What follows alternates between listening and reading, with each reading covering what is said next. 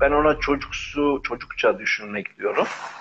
Yani böyle bir meditasyon yapayım, bir cümle okuyayım, üç kitap okuyayım, hayatım değişsin. Bir olumlama okuyayım birdenbire falan. Böyle gözümü kapatayım, bir açayım, bütün dünya falan. Öyle bir şey yok. Bilinçli ve sürekli bir çaba göstermek lazım. Hı hı. Aslında bu çaba ve gayret e, göstererek değişim senin gerçek malın oluyor. Kimse onu elinden alamaz artık. Sen olgun bir e, birey oluyorsun. Ayakları yere sağlam basan. İşte o zaman sen e, yaratıcıyla birlikte çalışan ve sadece ona güvenen biri haline gelirsin. Ha, biz meditasyonlarda aslında en iyi meditasyon içinde bilgi de ihtiva eden imajinatif e, şeylerdir, e, hayaller ve hikayelerdir, en iyi meditasyonlar onlardır. Hiç faydası yok demiyorum. Demek ki özetlersek, bir şey mi söyleyecektim? Söyleyeceğim ama siz özetleyin ondan sonra. Ha. Şimdi özetlersek şöyle demek lazım. Bir kere şeye çok dikkat etmek lazım. Ben birisini ilah yerine koydum mu? İlla puta muta tapman gerekmiyor. Efendim nüfus kağıdında Müslüman falan yazması da gerekmiyor. Ben birisine çok fazla önem verip onun gölgesinde bu kitapta putlaştırmayı uzun uzun anlatmıştım. Onun gölgesinde yaşıyorum. Kendimi sefil bir yaratık olarak mı konumlandırmışım? Onu böyle yüksek bir yerlere koyup ee, bir kere ona bakacaksın. Ve ondan özgür olmanın senin hayatının en önemli meselesi olduğunu bileceksin. Vele ki adında bir de babaannenin adı, efendim dedenin adı vesaire anneannenin adı varsa ondan kurtulacaksın bir kere. Hmm, değiştirelim mi yani Ve, adımızı? Öyle birileri adını e, mı değiştirsin? Tabii ki artık, hmm. artık şimdi kolaylaştı. Ad değiştirmek çok kolay. İddialı isimler koymamak lazım. Böyle büyük peygamberlerin isimleri, ermişlerin isimleri. Çok çok iddialı e, beklentiler taşıdığı için o çocuk bunu kaldıramıyor. Hem huysuz, gergin bir çocuk oluyor. Hatta sürekli ateşlenebiliyor o çocuklar. Çünkü ağır gelince mesela sık sık ateşlenir onlar. İki tane atıyorum. Birisi Atilla, öbürü de ne olsun? Cengiz Atilla. İki tane dünyanın en büyük e, komutanlarından birisi. Ne gerek var Cengiz Atilla? Ya diyorsun ki bu komutan gibi olsun. Ama ağır. Hmm. Ağır isim. Bunun gibi. Sonra e, bir diğer e, önemseyeceğimiz şey ilk kırgınlık e, şeyimizi, anımızı bulmaya çalışmak ya da birisine buldurmak. Ya benim şu kırgınlık anıma bakar mısın? Ve kırgın olduğun kişinin, kişiye hissettiğin duyguyu mutlaka salı vermek. Hem onu fark etmek, sonra da onu salı vermek. ifade etmek yani. Ve bu kırgınlık bastırıldıkça kine dönüşüyor. Kin. Yani aa, birisi diyor ki bana ya hocam diyor böyle diyor damarlarımı parçalamak istiyorum çünkü orada diyor annemin kanı akıyor diyor falan. Annesin o kadar kinli. Dedim ki anne sana bütün bunları yapmış olabilir de e onun da annesini ona yapmıştır. E, ve ona duyduğum bu kinin sana ne faydası var? Ama bunu kabul etmen lazım. Evet ben çok kinliyim. Ondan sonra onu nötrleştir ki bu ne oluyor? E, bastırdığın duygu bir yerden çıkıyor. Kocandan çıkıyor, çocuğundan çıkıyor, ortağından çıkıyor, yakınlarındaki kişilerden. Bir bakıyorsun, kocan ya da karın aynı gıcık olduğun o kişiye benziyor. Aynı özellikler. Diyorsun ki hay Allah, e diyelim ki 3-5 evlilik yaptın. Diyorsun ki kardeşim diyorsun ya hepsi de mi böyle olur diyorsun. Hani bir iki anladım. Hepsi mi böyle yani? Evet. 105 tane evlilik yapsan o duyguyu 105'i de aynı olacak. o duyguyu 105'i de aynı olacak. Nitekim e, enkarne oluyoruz ya biz sürekli. E, yani diyelim ki 5 enkarnasyonda 3'er e, evlilik yaptın. 15 evlilik olsa 15'i de aynı çıkacak. Ve hayat kalıplarını değiştirmedin. 50 tane enkarna, enkarnasyon yapsan 50'sinde de aynı şeyleri yaşayacaksın.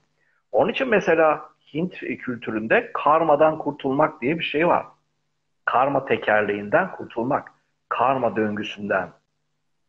Çünkü o kalıplar değişmediği zaman sen hep aynı olacaksın. Tabii ki onun arkasında şey de var. Bir kişi olduğun yanılgısından kurtulmak var. O derin bir konu. Hmm. Çok derin bir konu. Ama Kendim mi bir kişi olduğum yanılgısından kurtulacağım? evet, evet. Aynen. Evet. Bu, bu soru bile beyni yakar hocam. Bunu Beyni yakar. Aa, ama şöyle söyleyeyim. Kişi değilim de Ee, neyim? Ruh muyum yani? Onu mu kabul etmem lazım acaba? Ee, şöyle, e, her şey olabilen e, bir şeysin. Her şey olabilen Şey. bir şey. Tabii ki. Şimdi seçtin sen, e, ne bileyim, üç tane çocuğun var. Adın şu, Tamam. şurada doğdun, işte Müslümansın ya da Hindusun, Türksün diyelim. Ne oldu? Kimliğinin ne olduğunu sıralamış oldun. Bir süre sonra o sıralama seni tamamen ele geçiriyor. Hmm. Ele geçiriyor. Sen bunlardan Sen daha sadece öte kendini- bir şeysin. Anladım. Öte bir şeysin. Onu seçip kullanan kişisin. O değilsin. Kullanan o değilim. Ya ben Evet. mesela şu tişörtü bugün giyiyorum. Bu bir tişört. Beden. Bu hayatta kullanıyorum. Ama bir dahaki hayatta bı- bırakacağım onu. Ölmek bedeni bırakmak demek zaten. O bir cihaz, o bir alet. Bedenle ke- kendini beden zannetmek var mesela. Kendini düşünceler zannetmek var. Bu önemli, derin bir mevzu. En e, can alıcı mesele aslında buradan kurtulduğun zaman işte o zaman hayat oyun ve eğlence olmaya başlar. Hmm. Gerçek anlamda. Hmm. Sen o zaman esnek ve bulunduğu kabı alan, bulunduğu kabı alan bir e, enerji olarak e, hareket edersin. Diyelim ki bir su var. Ben suyu bardağa koydum. Bardağın içinde su var. Ben buna bardak mı yani su kendini bardak olarak düşünecek? Hayır. Bardaktaki su olarak düşünecek. Bak. Aynı onun gibi. Bir ismin var. Sen isimden mi ibaretsin? Hayır. O isme şimdilik sahip olan bir ruhsun sen. Aynı o su gibi. Hmm. Şimdi bu beyin yakan şeylerde bizim bir eğitimimiz var böyle online kuantum eğitim yapıyoruz. Bir tane e, müteahhit arkadaşımız var. Tabii ilk derslerde şok oldu böyle bakıyor. Dedim e, siz nasılsınız iyi misiniz falan dedim. Hocam benim beynim yandı dedi. Ben ben Yani- değilmişim.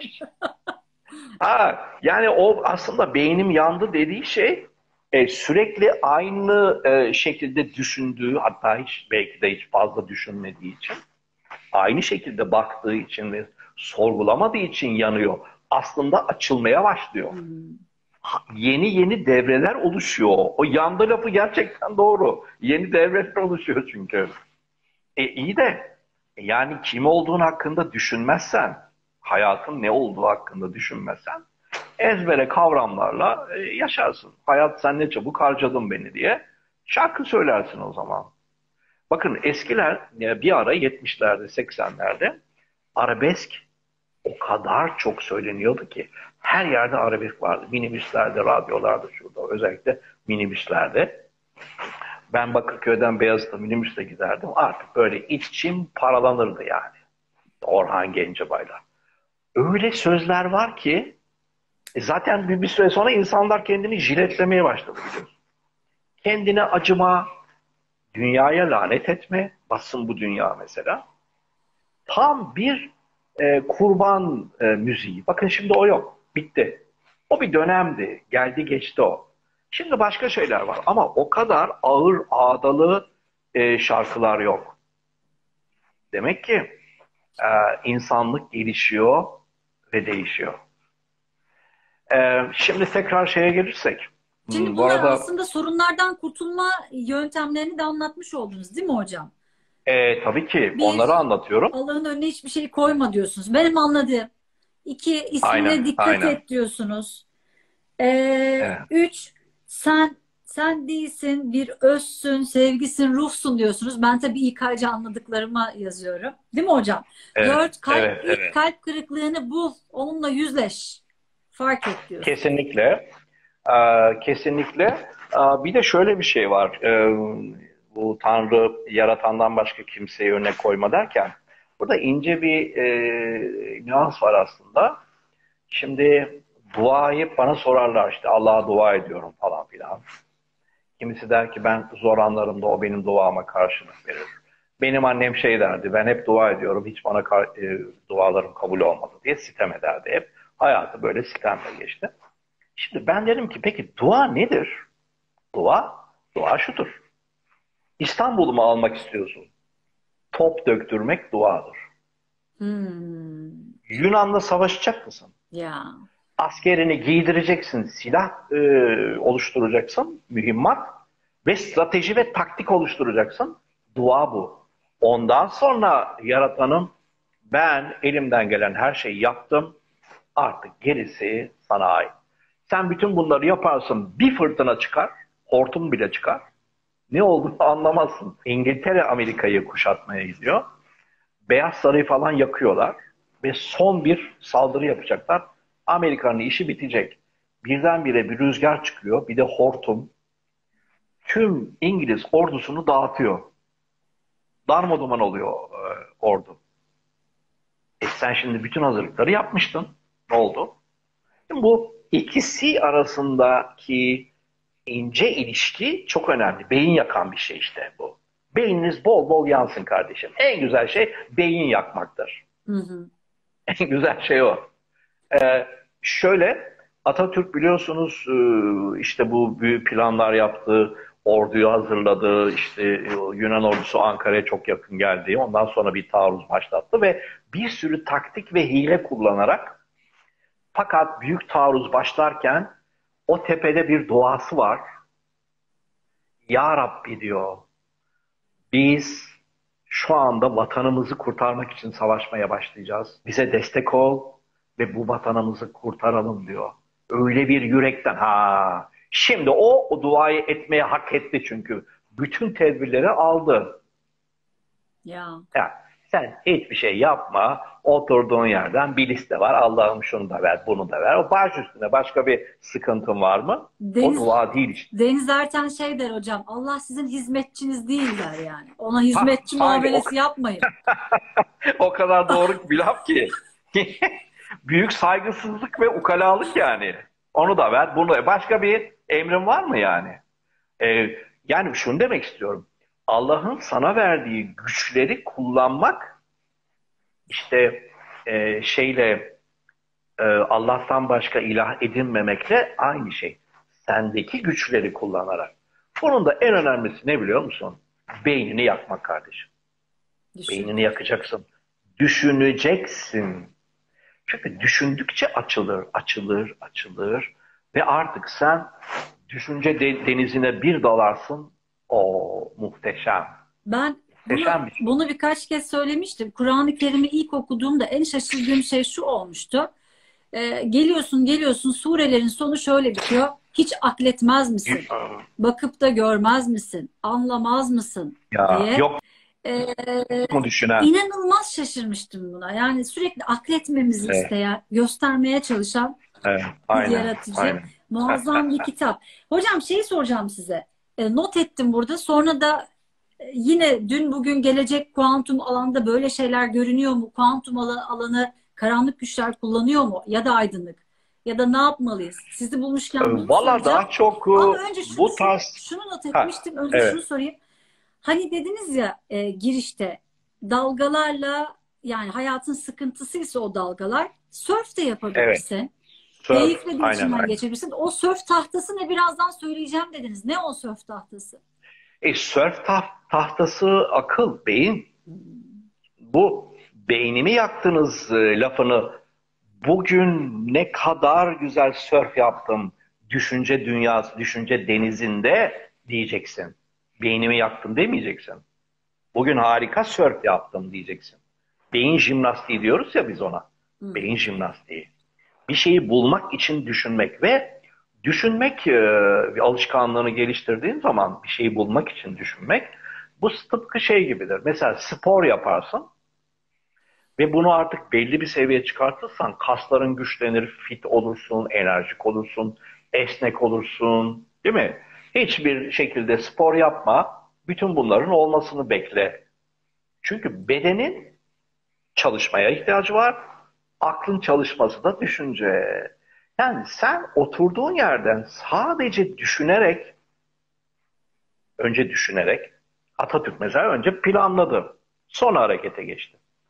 Fark ederek, düşünerek bir olay neden oldu, benim başıma neden geldi diye. Ama sen dersin ki, dersen eğer ki insanlar genellikle öyle yapıyor, bunu her seferinde söylüyoruz ama bir daha tekrar etmekte fayda var. Suçlu ve sorumlu olarak kendi dışımızda bir şeyleri göstermeye bayılıyoruz. Yani onun yüzünden oldu. O böyle yapmasaydı şöyle olmaz falan. Bana çok söz vermişti, sözünde durmadı.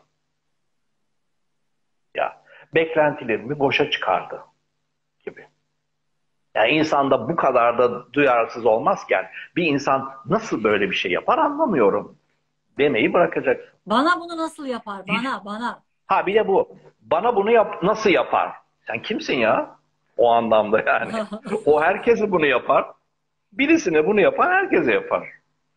Ee, şöyle düşünmek lazım. Bu adamı, bu kadını, bu olayı ben hayatıma hangi inancın e, sebebiyle çekiyorum? Ha, işte şimdi sen artık bir kahramansın. Hmm. Artık sen bir VIP'sin. Sen geleceğin insanısın. Geçmişin insanı değilsin artık.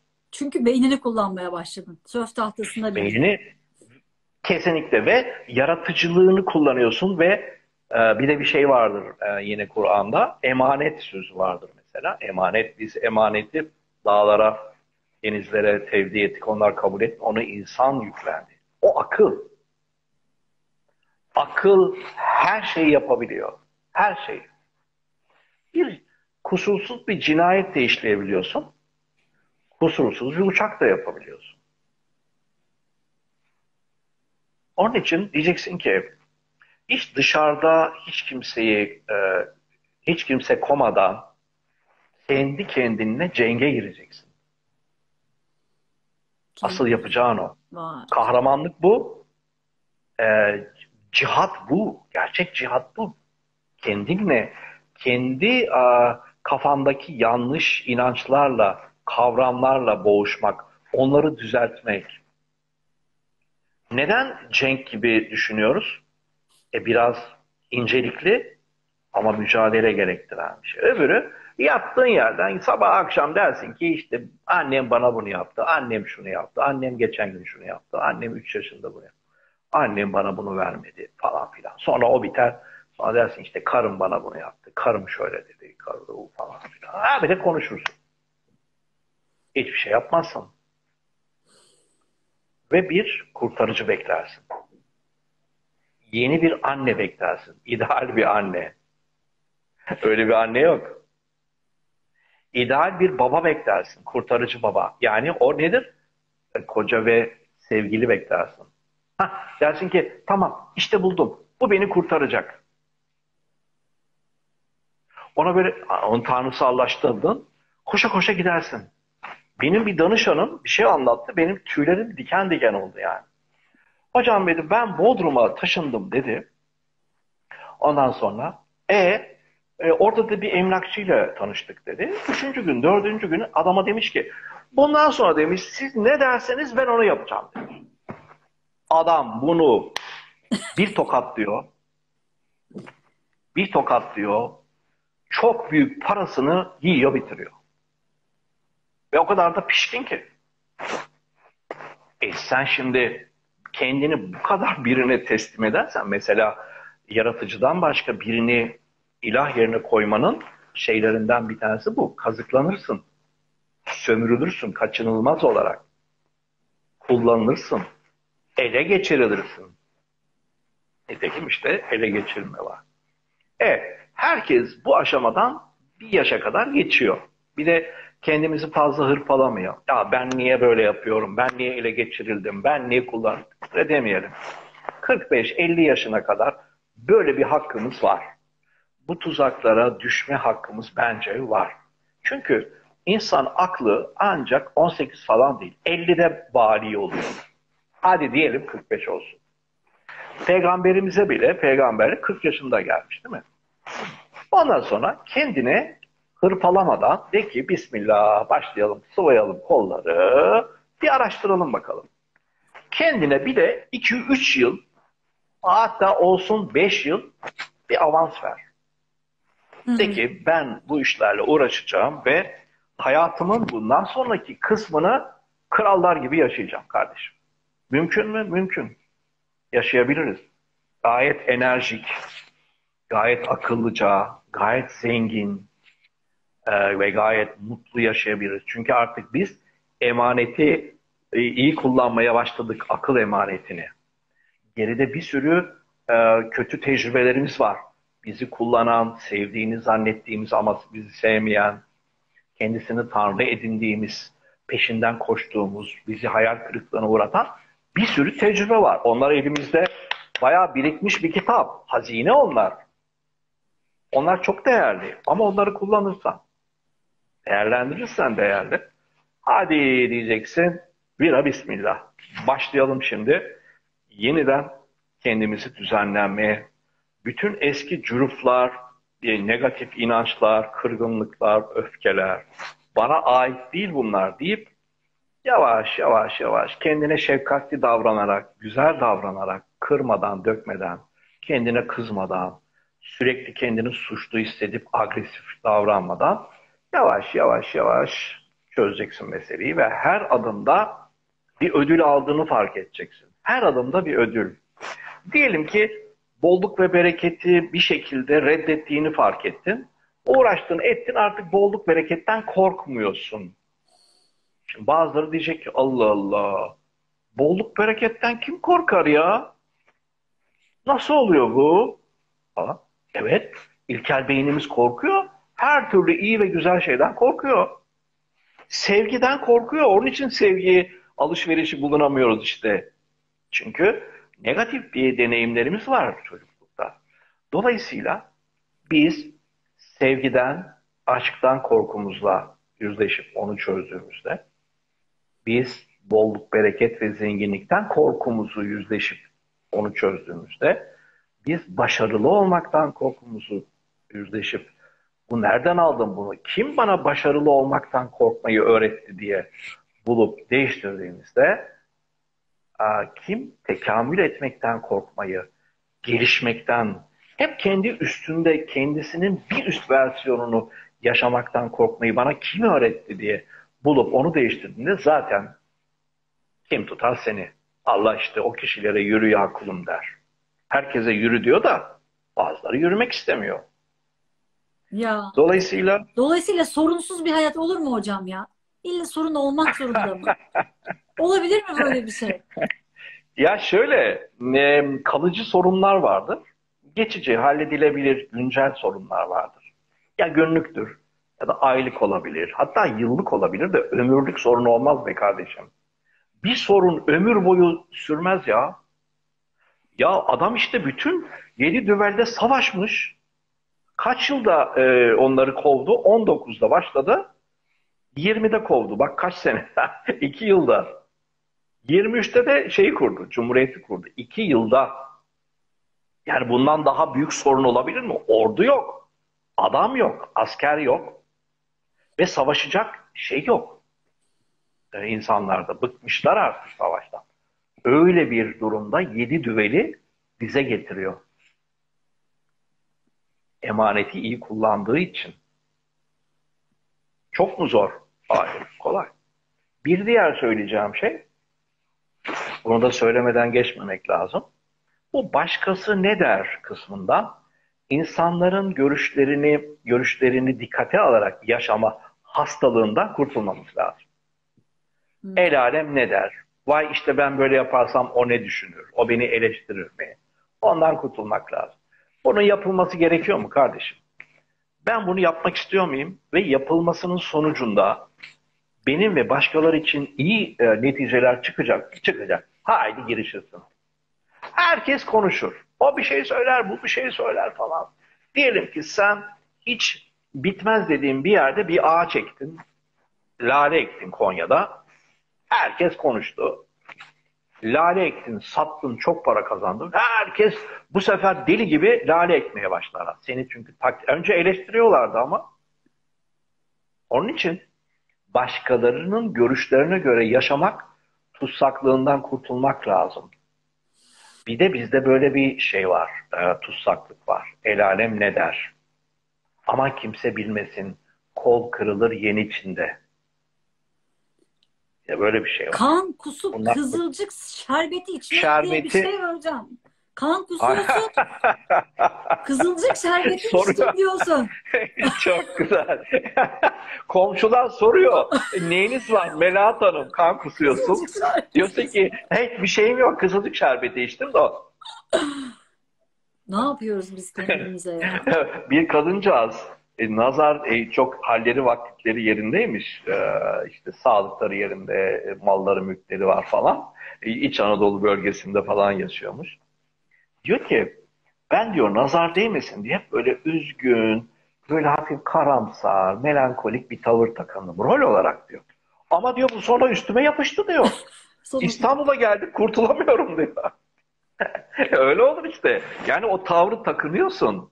El alemin, el aleme uyum sağlıyorsun. Biz çocukken etrafımızdaki insanlara özellikle işte bu da aslında e, e, başka bir ilah edinmek oluyor. Onları taklit ediyoruz. Mesela sürekli depresif bir annem var. Çocuk hemen onu modeller. O da böyle boynu bükük, üzgün falan. Önce rol yapar. Sonra üstüne siner o. Sonra der ki benim yapım böyle. Ne yapısı ya? Sen kendini öyle yapmışsın yani. Ya da mesela sürekli evde kavga vardır. O da normal bir ilişkiyi, ilişki kurmanın, iletişim kurmanın yolunun kavga etmek olduğunu e, zanneder. Ya bizim maymun tarafımız vardır öyle taklitçi. O da öyle e, bağıra çağıra kavga ederek en küçük bir basit bir meseleyi bile bir kavga haline getirir. Bunu neden yaptığını da bilmiyordur. Sonra der ki ve benim yapım böyle biz işte biz Karadenizliyiz falan. Biz onun için böyle kavgacıyız. E sen öyle gördüğün için öyle davranıyorsun. Onun için taklitçi olmayacaksın. O maymunlar öyledir. Bakar aynen onu onu yapar.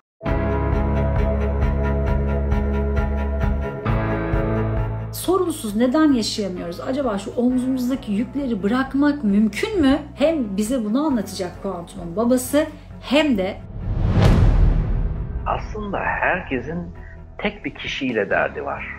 Tek bir varlıkla. Velev ki adında bir de babaannenin adı, efendim dedenin adı vesaire anneannenin adı varsa ondan kurtulacaksın kuantum alanda bugün ne oluyor, gelecekte ne olur, dünya için, Türkiye için bunları görebilmek, tespit edebilmek çalışmalarla mümkün mü? Maliki yevmiddin diyor. Malik din gününün sahibi demek. İnsanlar diyor ki ona meal yazanlar işte kıyamet, hı hı. hesap günü falan. Hayır efendim. O din günü. Nedir din günü? Açığa çıkacak her şey. Açığa çıkacak ama önce her şey iyice belirsizleşecek.